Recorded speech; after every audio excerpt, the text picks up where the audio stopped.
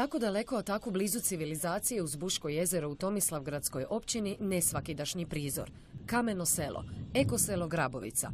U samu granicu s Hrvatskom i Dalmatinskim zaleđem, na mjestu gdje se susreće Bosna, Hercegovina i Dalmacija, mediteranska, kontinentalna i umjerena klima, prije 12 godina započela je priča o ovoj seoskoj idili.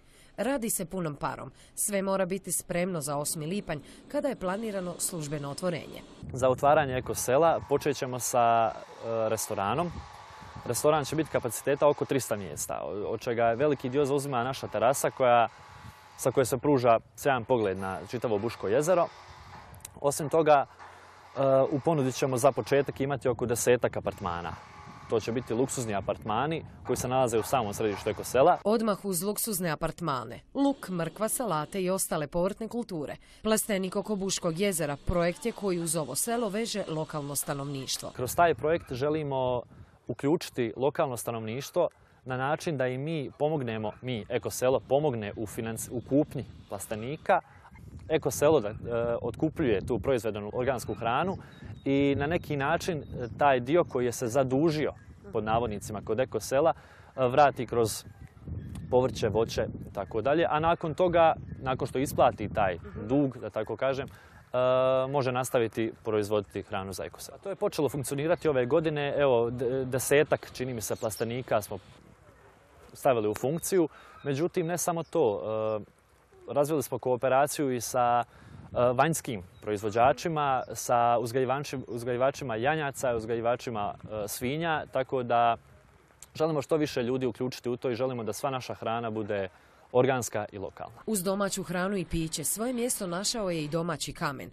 Rajko Tolić jedan je od majstora koji od početka sudjeluje u izgradnji ekosela. Grabovačka pećina na kojoj trenutno radi gotova je najkasnije za tjedan dana. Zidove smo odradili, zašalovali vrata i prozore, nasuli smo negdje 130-140 kubika pjeska.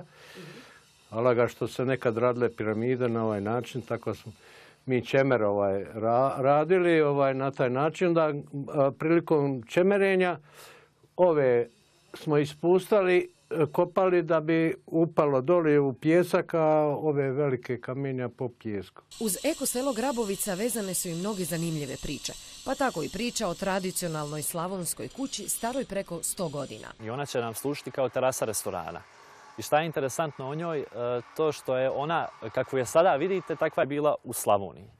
I ona je gore rastavljena spremljena na kamion, dotjerana ovdje i ponovo sastavljena takva kakva je bila. Litli je jedna od šest konja koje možete uzjehati ukoliko posjetite eko sela Grabovica.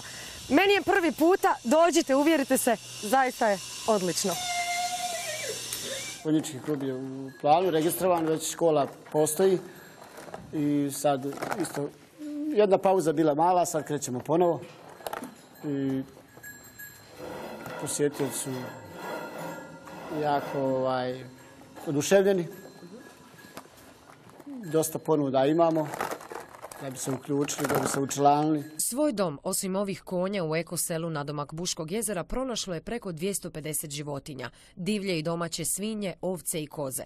Ovaj ljepotan pridobio je posebnu naklonost posjetitelja, posebno onih najmlađih. Ime, kako je kazao naš vodič, još uvijek nema. Bez puno razmišljanja odlučili smo. Iz ekosela Grabovica imate mahanje od ponosnog pauna Liberty.